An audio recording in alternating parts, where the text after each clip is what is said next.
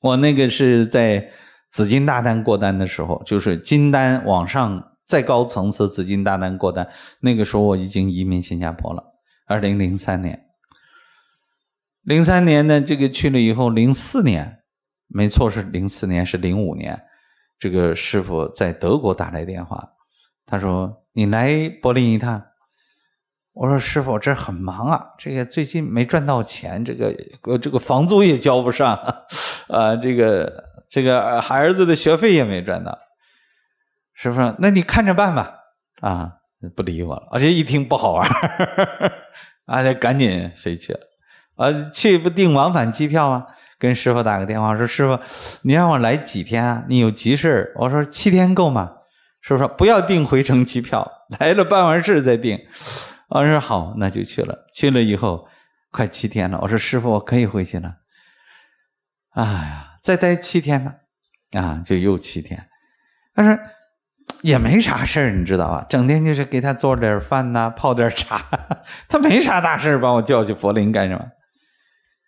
那我说师傅，你看也没啥事我那急着火上房子了，这个呃一个月好几千的费用在新币好几千 都没赚到，这个房租房东太太都就急了，催我们要房租都交不上来！这那还是家里的房子，再不行就没房子住了。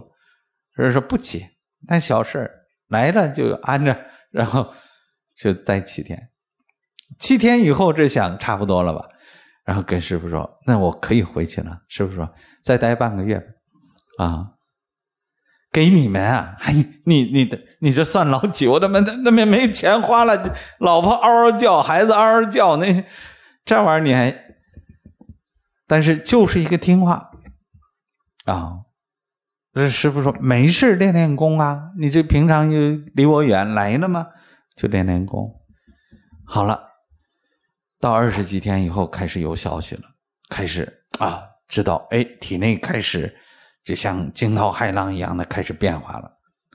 这变化了以后，在一个晚上，歘，自己的紫金丹过关了，顺着那个脊椎呱踩上去，啪，然后歘下来，那整个那个过程精彩的不得了。然后是晚上完成了，晚上完成的第二天。我这个去办公室，师傅早在那坐着，说明天买机票可以回去了。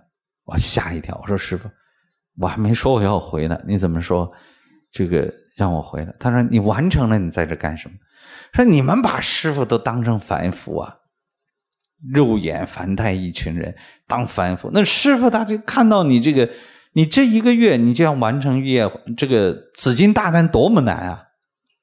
这是最难的一关，紫金大难完成，就颅脑腔就变化了，你的天就变化，剩下就是头顶九个洞就出来了，就顶圣眼升天了，就差那一步啊！但是你小子在新加坡的话，师傅在柏林，师傅遥控他不行啊！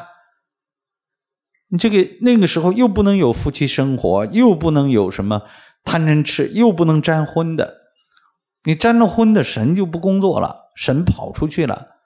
那就这个时候是绝对一个月的斋戒啊，就等于闭关修炼一样啊。那师傅爱你，他早都知道这个时间点了，他把你叫到身边去了。说是什么人可以修成这个？就是无我，就是听话。师傅说啥就是啥。你说，你说，你说我来我就来。你说我怎么样？不像你们呢，太自我了，没时间呢。啊，等你有时间了，师傅可就没时间了，你这一生就错过去了。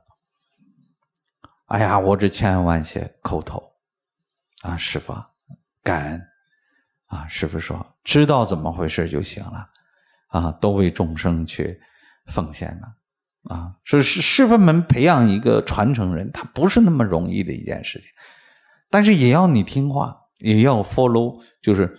我一生就是在熊老师身边，他说什么我绝对听，啊，绝对听，去哪就去哪，没钱就不管，借钱也要去，啊，这个才能够顺天时顺地利，因为天时它就是那么个时间点，再没有第二个时间点了，没说还有啊，明年也有春天，明年也有，不是今年这个时间空间就是这样的一个地球在转嘛，银河系。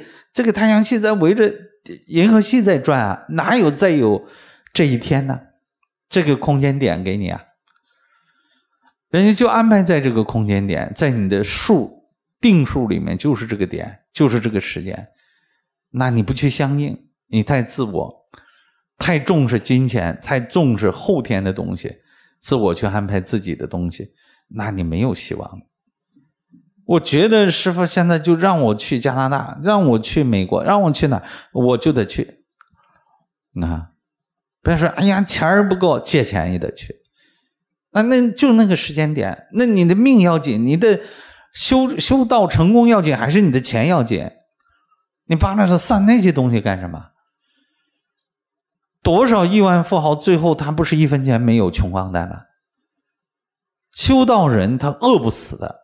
我自己的体验是这样的：我在最困难的时候，熊老师从柏林回新加坡了，回新加坡了，他知道我困难，拿了八千美金给我，然后说这些钱给你用。我说师傅，你来了我都还没孝敬你了。